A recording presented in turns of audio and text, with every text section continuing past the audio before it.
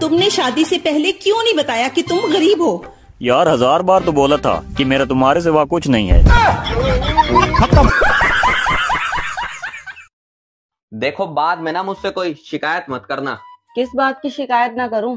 पड़ोसन बार बार अचार मांगने आ रही है और ये ना हो कि अचार के चक्कर में हमारे विचार मिल जाएँ। दोस्तों काफ़ी दिनों से मेरे दिमाग में एक बात चल रही है। कि कश्ती वहाँ पहुँची कैसे जहाँ पानी कम था। और पानी कम था तो वो डूबी कैसे?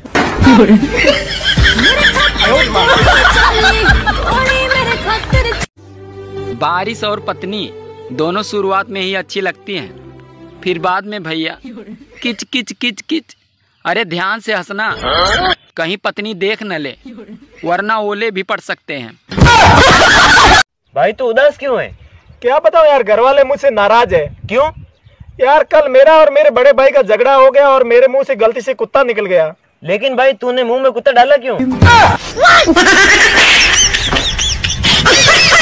अरे रुखसाना तुझे पता बीस साल तक मेरे कोई बच्चा न हुआ? अच्छा फिर? फिर क्या? फिर मेरे घर वालों ने मेरी शादी करवाई जब जाकर कहीं एक लोंडा हुआ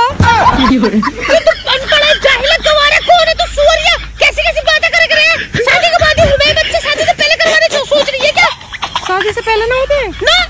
हाँ सूर्य कहीं? बिल्कुल पागल है दिमाग से पैदल है पंगाली मत बनी कर तू मुझे। हे मेरे तैतीस करोड़ देवी देवताओं मैं कुछ ज़्यादा ना मांग रहा तुमसे बस एक एक रुपया दे दो तुम मुझे बस एक एक रुपया दे दो। गाइस मैं अपने सारे सपने पूरे करूँगा।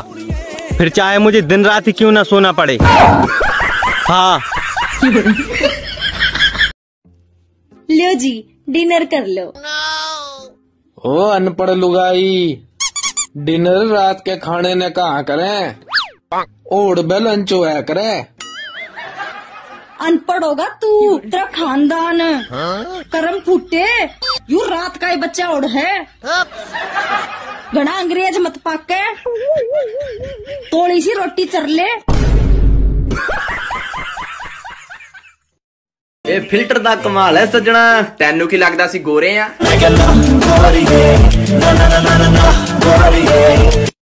आप कुछ उदास सी लग रही हैं कुछ टेंशन में लग रही हैं हाँ बरबूती जी हम हम ना सेट हो गए हैं किससे सेट हो गई भाभी जी हम तो बहुत दिनों से कोशिश कर रहे हैं हमसे तो सेट ना हुई हैं आप क्या बोले लेकिन भाभी जी उसे अपसेट कहते हैं हाँ सही पकड़े हैं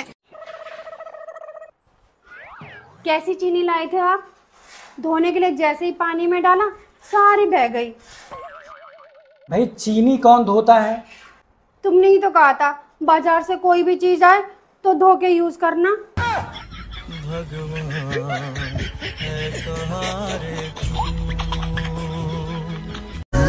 दुनिया में दो लोग कभी नहीं सुधर सकते एक मैं और दूसरा तुम। नहीं तुम्हें क्या लगा तुम शरीफ हो?